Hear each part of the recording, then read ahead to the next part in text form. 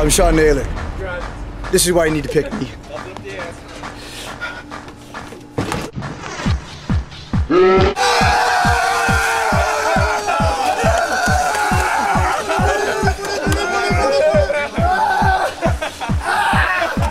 Back!